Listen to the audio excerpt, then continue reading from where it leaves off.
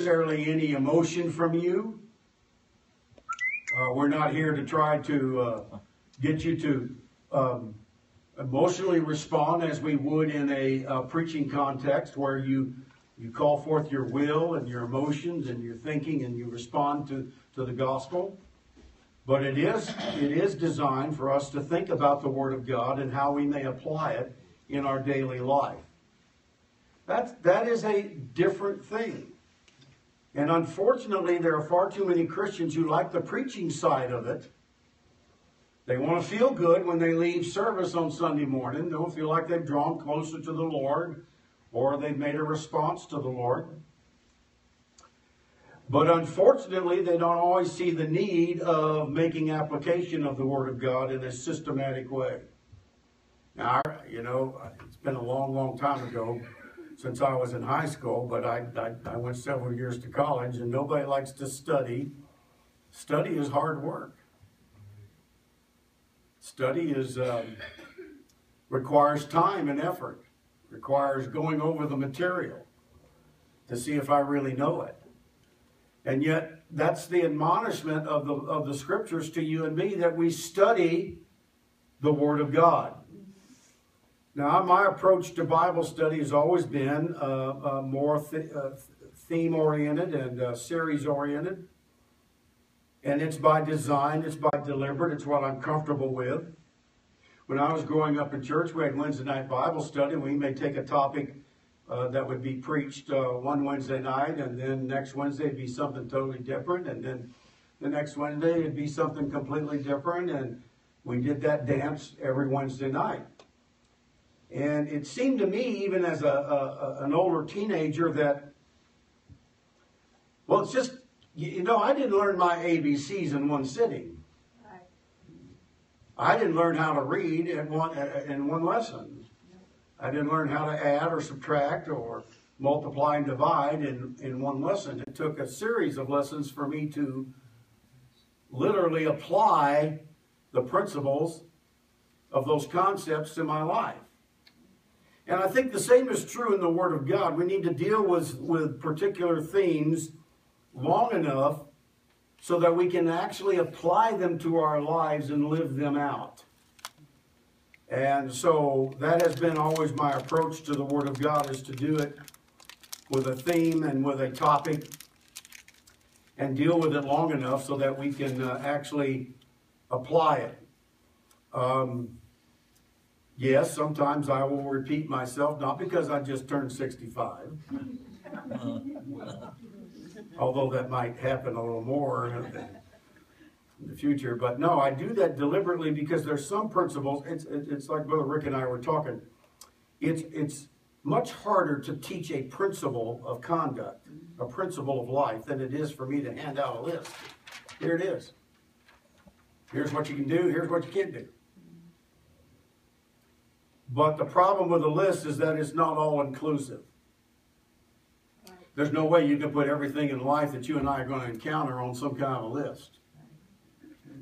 That's number one. Number two, the problem with the list is that anything on the okay part, on the do list, can become can become problematic, can become an issue by virtue of emphasis. Mm-hmm. Nothing wrong with hunting unless you do it every Sunday. Nothing wrong with fishing unless you do it every Sunday. Nothing wrong with a lot of different activities unless it takes it, it, but but if it takes you away from serving the Lord or uh, being involved in His kingdom, then that can become a problem. Somebody says, "Well, I belong to a bowling league, and I just can't afford to give any time to the church or to the ministry of, of, of the work of God." Well, then your bowling is a problem. Hello. Amen. Amen because it's not it's not the game that is the problem. It is the emphasis that you're placing on it in your life in, in as far as a priority. So when we talk about principles of life they're a little harder to, to share and to deal with and to, to apply because we have to use real life experiences and here's how it works and here's what it looks like. It's far easier for me to just like i said get up here and attempt to give you a list, but the, the, there's a problems with the list because people think that if they do the list, they're okay. and you may or may not be okay. Right. I've known a lot of people over over my, my lifespan who who did the list, but their heart was far from God. It was corrupt. So, when we look at the Word of God and when we look at this series that we've been dealing with, we're talking about navigating the the uh, narrow road. And the last time we met, we we talked about the path of liberty and love. We said there's an extremes on either side of this. There's the extreme of liberalism, where anything goes, and nothing, little to nothing is wrong, to the other extreme of legalism, where everything matters, and everything's either uh, falls into the category of right and wrong. And both of those are extremes of really what is the what I, I call the balanced Christian life. So the Christian life really involves a liberty and involves a liberty in the love of God. See, I don't serve the Lord for fear of hell. And if you walk with God any any length of time, that should be that, that should be true of you. So, and I will tell you, there's a problem that after many, many years, if you're walking with God only because you're escaping hell and you got your fire insurance paid up, you're not walking in the liberty of love. Because I'll tell you something that's much stronger than the threat of hell, and that is the love of God. There's nothing stronger in this world than love. And when people fall in love with the Lord Jesus Christ, then their lives are going to reflect that in everything that they do. But you see, the basic motivation will be love. So when we talk about liberty, we're talking about sound doctrine that's balanced not extremes from right or left. I've been in I've been in this thing all my life, and I've I've seen extremes from right to left. I've seen everything from standing up to sitting down being a sin, all the way to nothing matters. So those are extremes. And let me just say, when we talk about the, the path of liberty and love, we're not talking about being free to do what we want. We're free to do what we ought. And there's a big difference. So he says also it is relational. It means you have a relationship, an ongoing relationship with Jesus Christ. People fail the Lord not because it's just the pull of the uh, pull of the world, although that may be part of it. It's because they're not continuing to, to, to develop their relationship with the Lord. Do you know relationships are never static very long? In other words, in any kind of relationship, you don't do this, you know, if it's not growing and it plateaus off and it continues to plateau off for a, a length of time, then there's going to be some problems, don't you think? Because that relationship is not ongoing. It's gone to a point and then it's stopped. Well, the same can be true with our relationship with the Lord Jesus Christ. See, if you're not going forward, you're backing up. Because time marches on. So it's also reasonable. I want you to know being a Christian is the most reasonable thing in the world. Now, it takes faith and it takes the Holy Ghost to live it, but it is reasonable, it's rational, it's relational, it's responsible. I have a responsibility. Paul says, I have an obligation, I have a responsibility to the Jew and the Gentile. I have a responsibility to the Lord. I'm a I'm his love slave. Have responsibilities. We're living in a time where far too many Christians have an entitlement mindset. They come to church expecting everything to come their way. And if you got to sing the right song, speak the right message, you know, everybody come and shake their hands without them doing anything else on their own. But you see, we have responsibility, and when you walk in the liberty of love, they'll be responsive. You'll be responsible concerning your conduct and your attitude, which will determine your altitude. Amen? So we are transformed by the grace of God, rather than reformed or uh, uh, or, or, just rebellious as far as those other two are concerned. Um, let's look at the next one the path of liberty and love is that uh, they, but they, they believe and are led by the Spirit of God. When we walk in the liberty of the love of God, there is a there is a principle of life of walking in the Spirit, of uh, feeling after the, the Spirit of God, of wanting to please Him. There is also, we walk in God's righteousness, not our own righteousness, because according to Titus, there's nothing that we can do, not by works of righteousness which we have done, are we saved, but according to his mercy. So we walk in the righteousness of Christ. And let me just say this about that. When I begin to personally understand that I am robed in God's righteousness and not anything that I can do, it sets you free. Amen. It sets you free to, to live for the Lord. And uh, far too many, uh, over the years, I've seen far too many Christians who, who live under fear. And we're going to be talking about the freedom that comes in Christ that if I do this thing, God's going to get me. That if I make a mistake this week, if I slip and say a bad word, I'm going straight to hell. I don't pass go. I don't collect $200. Mm-hmm. I'm just, I'm just lost. Or if I behave in a way that's uh, uh, not something I actually planned to do, but it just happened, that somehow um, if Christ were to come at that moment, I wouldn't go with him. You know, that's an awful way to have to live. That's like, let me give you an example. That's like your children making a mistake and wondering whether they're going to get kicked out of the house or not. Hello? Amen. It's like your children saying something and wondering whether you're going to accept them or not or love them anymore. I've had people say to other people that if you do this, this, and this, God will love you more. How terrible is that? First of all, while we were yet sinners, Christ loved us. So if he loved us while we were sinners, how much do you think he loves us now that we're his own? But it's a terrible mindset to live under the fear that I'm going to be lost. That if I if I trip or if I skin my elbows and my my nose and my head and my knees all at one time, that uh, God's going to kick me out of the kingdom.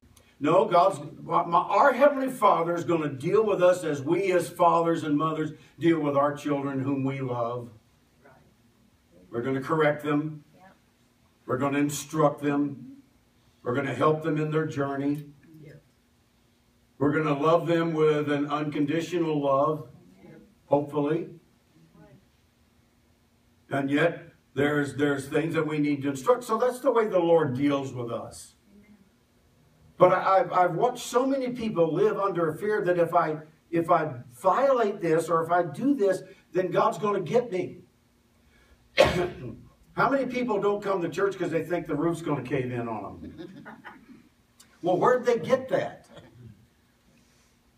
How many people don't come back to church because they're afraid somebody's going to point the finger and say, I told you so? How many people don't come back to God because the elder brother's going to get to them first before Christ does? You remember the elder brother, don't you? Yeah. So it's tragic when people do when when I begin to understand that I walk in Christ's righteousness, that I'm robed with his righteousness, not my righteousness. Now, does that absolve me from living a a life pleasing Absolutely not. But I'm free to live for the Lord because I'm robed in His righteousness. He's the one that paid the price, folks. He's the one that bled and died. He's the one that became the substitute for our sins. He took our place on Calvary. So you and I have His righteousness, which is a wonderful thing. And there's the reality of a relationship. It's not just a religion. Religion is always do oriented. You take any religion in this world and you will find and discover that it is always do oriented. You have to do something in order to be pleasing to your God. But you see, in, in, in Christianity, it's different because it's be oriented, not do oriented. It's relationship oriented. It matters. my relationship with Christ matters. And I want that to be a growing and ongoing relationship. Can you say amen? Amen. Pleasing Christ matters. Amen? Amen. Pleasing Christ matters. So that, that's, the, that's the important thing. And then we go to the next point here is the scripture says we are to live a living sacrifice that's holy and acceptable unto whom? Mm. Not to the world, not to other people, but unto God. How many people live certain certain ways simply because of what other people might say or not say? And yet, really, the only one that matters is Jesus Christ. Now, I'm going to get into our responsibility to one another. And we're going to deal with that because that's where Christianity is really lived out and walked out. You love God Yes. and you love others. Amen. So that's where it really is, and we're going to deal with that uh, in, in depth. So there's a living sacrifice. There's a spiritual and, lo- uh, and loving in con- spiritual and loving in conduct and attitude. So we have uh, the love of God shed abroad in our hearts by what? The Holy Ghost. So the love of God is shed abroad in our hearts by what? So the more of the Holy Ghost you have and expand that, that God's uh, renewed spirit in your life, it should translate into more of, of the love of God in our lives. Amen? Amen. If you want to know what God is, the Bible tells us what God is. God is love. God is love. So, you're growing in grace and truth. There's a growth that goes on in our lives. All right.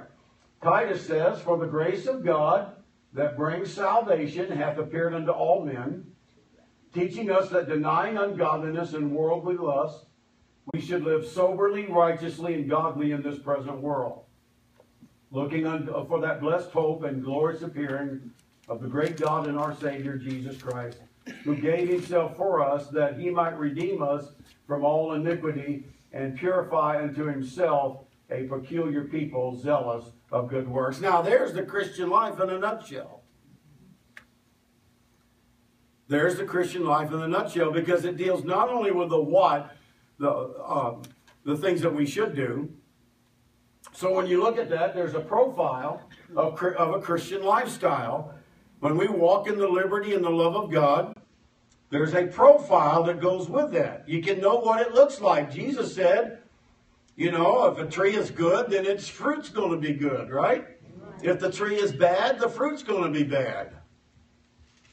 You don't go to a well and drink sweet water out of a well that's got bitter water in it. It's either going to have good water or bad water. And he says, by the fruit you shall know what the person is. See, I can say I love God. I love God with all my heart. But then Jesus said, if you love me, you'll do what I tell you. You'll do what I say. Lip service is pretty cheap, folks. Talk is cheap. So there is a profile for, for the Christian lifestyle. So when we look at it, first of all, it's grace brought. Grace brought salvation and redemption. I thank God for His grace. That's unmerited favor, folks.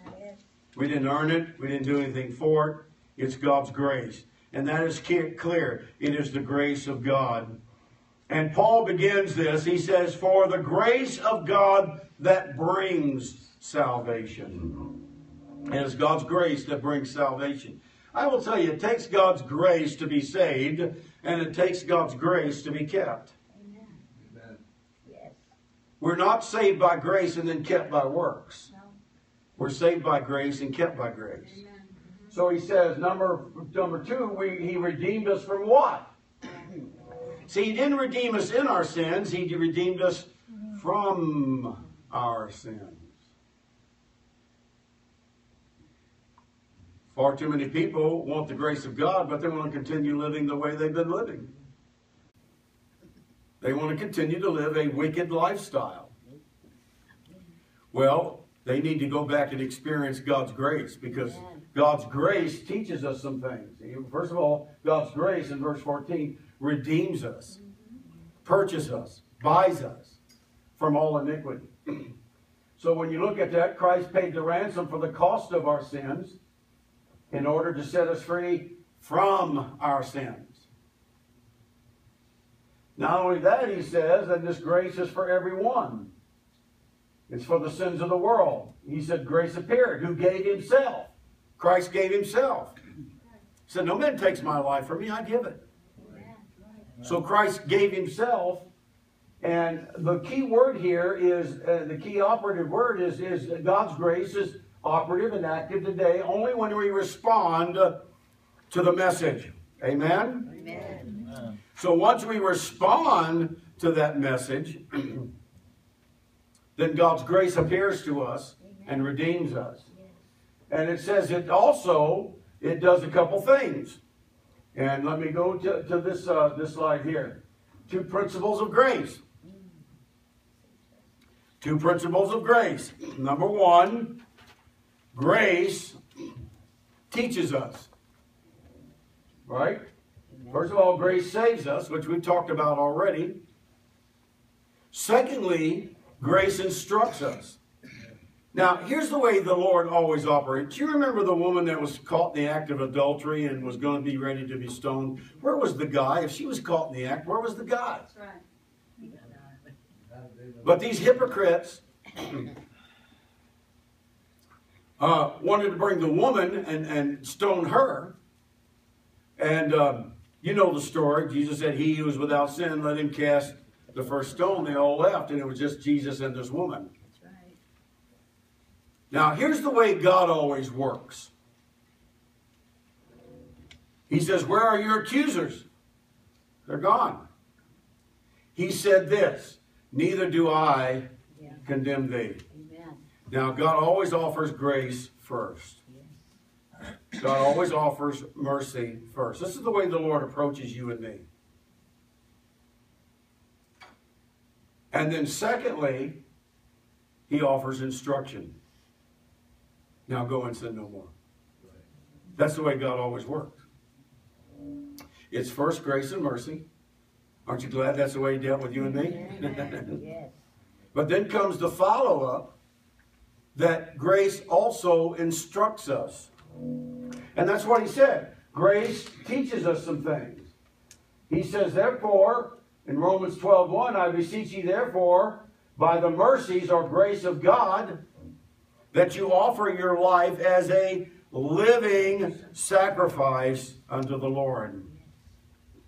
Ephesians, the second chapter, verses 8 and 9, it says, For it is by grace you have been saved through faith, and this not from yourselves, it is a gift of God. Do you know our ability to say yes to the Lord comes from His grace?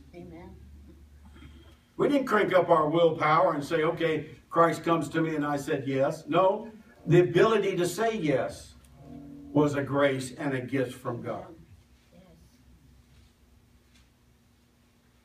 And the ability to say yes tonight to the Lord is a gift from the Lord.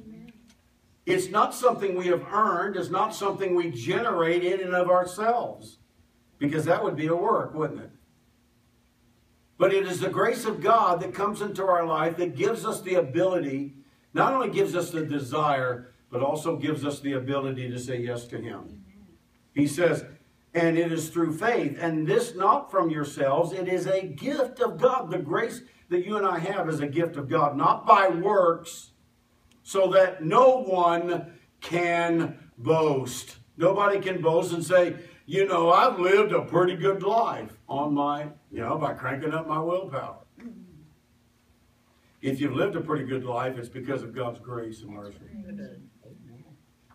And so it's true of salvation. It continues to operate in my life and in the life of the believer. So he says, grace saves us, but grace teaches us. Let me say, people who have truly experienced God's grace and understand redemption will, now hear me, will respond by conforming to the image of Jesus Christ. And this is what he means when he said, Present your bodies a living sacrifice, wholly acceptable to God, which is your what? Reasonable. Reasonable service. And be not conformed to this world, but be you transformed by the renewal of your mind. So you may prove what is that good, acceptable, and perfect will of God. So when we talk about God's grace teaching us, those who have experienced God's grace, and hear what I'm saying when I say this, will, will respond by allowing Christ's grace to transform them and then to be conformed to the image of Christ. Can you say amen? Amen.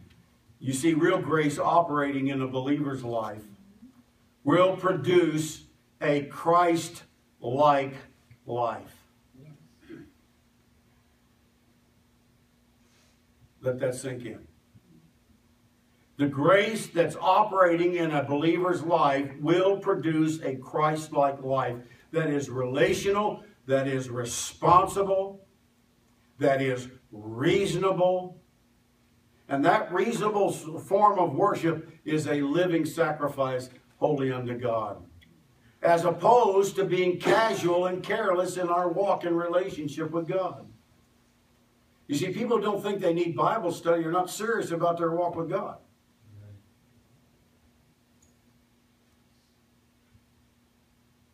I'll say it. Amen. Amen. Amen. You know, people who are not serious about studying the Word of God are not serious about their walk and relationship. They're just way too casual and way too careless with their relationship with God, and they are frustrating the grace of God. And, and don't think that God's grace is not dealing with them. God is not passive. He's not sitting back twiddling his thumbs. But he is active and he is endeavoring to work in people's lives. So they're either resisting it, ignoring it. You know, what scripture tells us in 1 Thessalonians, quench not the spirit. Well, how do we quench the spirit when we're not following the spirit?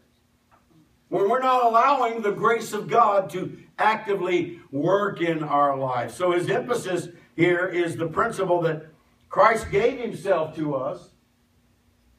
Christ gave himself to us. And that he might do what? Number one, redeem us. That is salvation.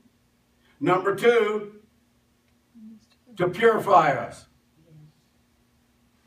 That is the lifestyle.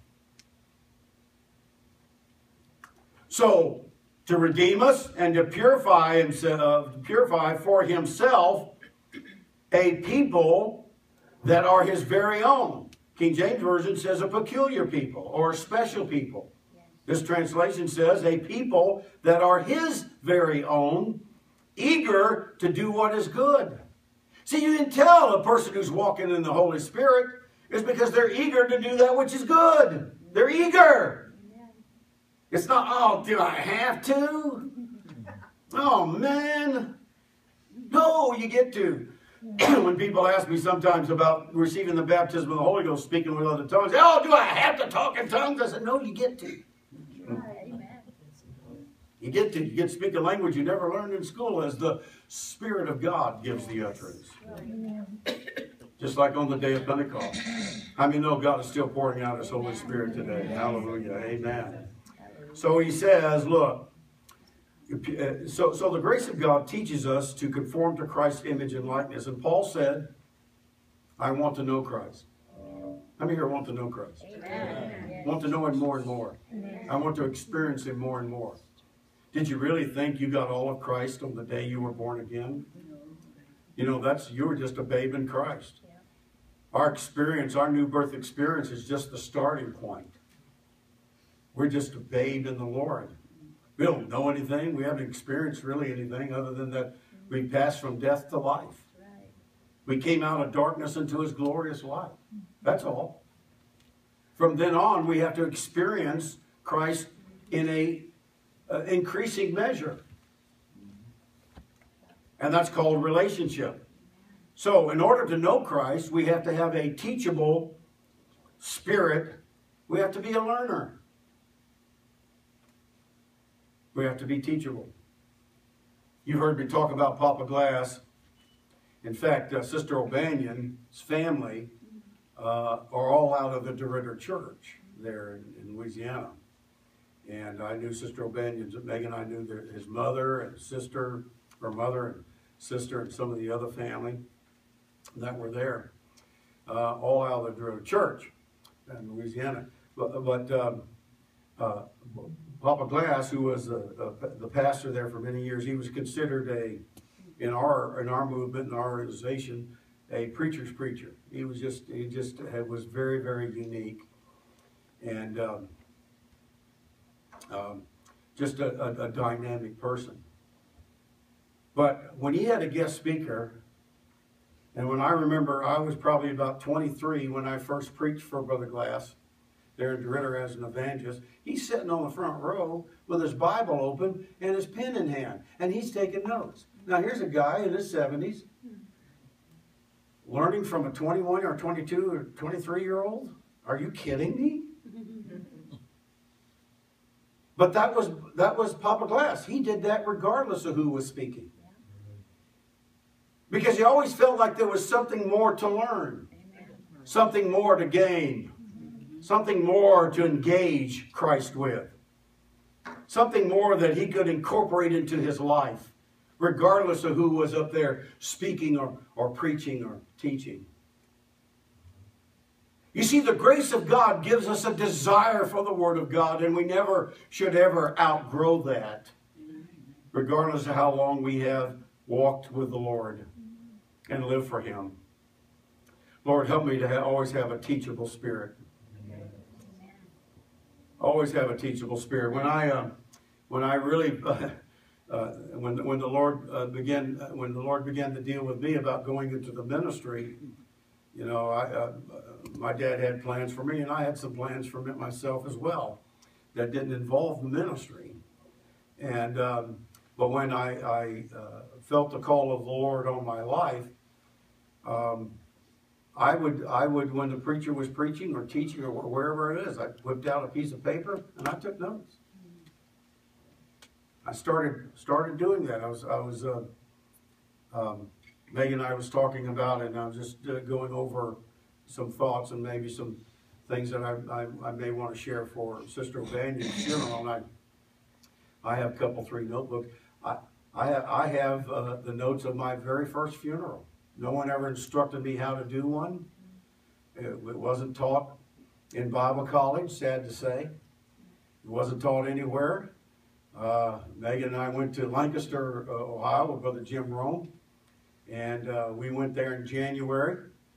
And he took off for vacation. And somebody connected with the church passed away. And I had to do the funeral. I didn't know the person, didn't know anything about them knew no no connection. So that was my very first funeral. But I was uh, just just the last couple days I, I, pulled out those notes. Lord help me. but uh, that's what I did. Very first funeral. We always must be willing to learn and be taught the Word of God. To have a teachable spirit. One of the principles I endeavor to teach to the new, to those that are new in our discipleship classes to always have a teachable spirit. Always be open to being instructed. And sometimes you'll hear some things, you say, I'm not sure about that. Well, you do what the Bereans do. You go to the Word of God, you search it out, and see if what's being told you is the truth. That's the way you do it. You see, Paul summarizes the Christian life, and he says this let me, let me close with these thoughts here. That grace will teach us some things, and we will learn to avoid ungodliness and worldly lust. To avoid it, to flee from it. It will um, include everything that a person does without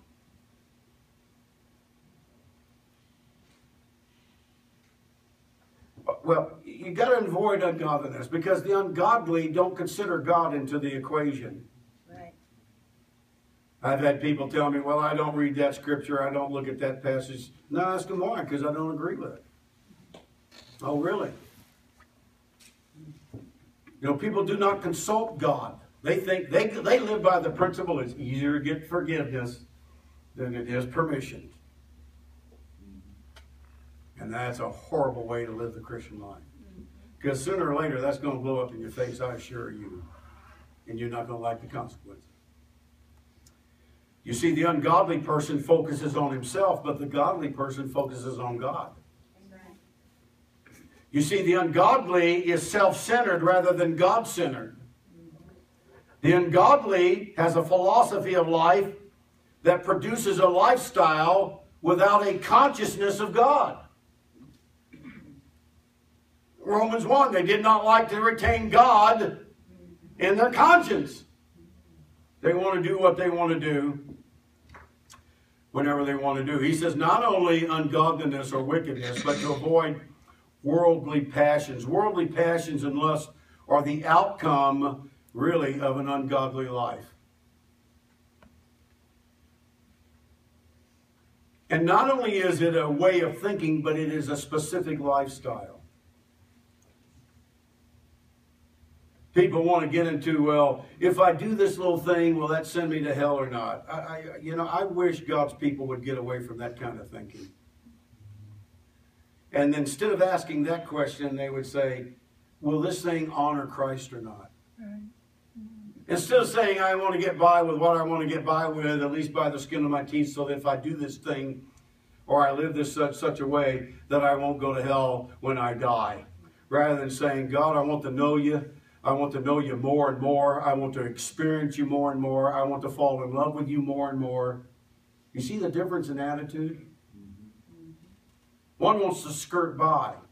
It's a way of thinking. People get into a lifestyle rut and, it, and they live after fleshly appetites and they become sensual and materialistic and they do not seek the kingdom of God first. And it's unfortunate. They're not seeking God first. And how tragic, and I've seen it where parents are more interested in their children's soccer games than they are their children in Sunday school on Sunday morning. They're more interested in their children being something uh, uh, uh, out in the world than they are them being something in the kingdom of God. They would rather them be a CEO of a, of a corporation and make tons of money rather than be in the ministry or a missionary somewhere else where they're scraping to get by. Got our priorities all messed up, don't we? Because if you gain the whole world and you lose your soul, what profit is there in that? So we need to live a self-controlled life. I will tell you, the Christian who's living under the grace of the Lord will live a disciplined life. They will live an upright life. In other words, when you look at uh, when you look at uh, some of the passages when it talks about righteousness and it talks about the qualifications of an elder, that there've got to be certain qualifications, certain characteristics of an elder. Well, don't you think that's not just for elders? Hello?